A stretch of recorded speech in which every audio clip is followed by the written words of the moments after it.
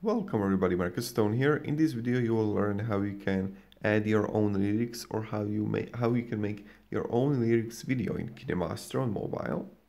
So what you want to do is to click on media and choose background and I don't know you can choose whatever background you want or you can just upload your own video but I'm going to use this one right now. Now when I have it we want to have our lyrics right above the mountain. So what I'm going to do, I'm going to click on our audio and if you have any audio, I don't have any songs on mobile because everything I uh, make, everything I hear, the music is from Spotify.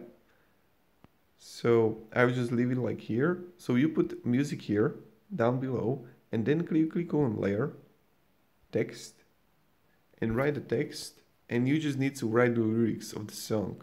So I don't know. I love you so much. like that. Now what you want to do is to add text like this and go so it will go like with the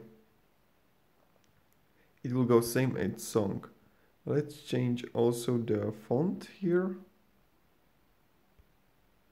Maybe this one, yep, this good. Now let's edit it like duration. Like that. Let's zoom in a little bit. Yep. And now it will go another text. So again, layer text. You are the one.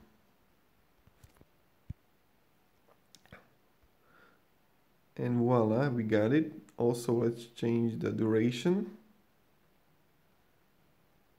And let's copy it like this. Let's make it font better. Maybe this one. And if you play it right now we need to also like this. No right now it's behind but we don't we don't want it to be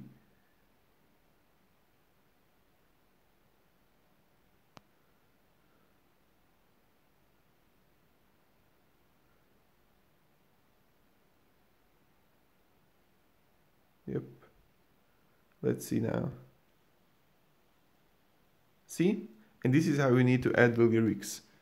I know it's a work, but making lyrics on your uh, video, it's really tough on mobile. So that's kind of it.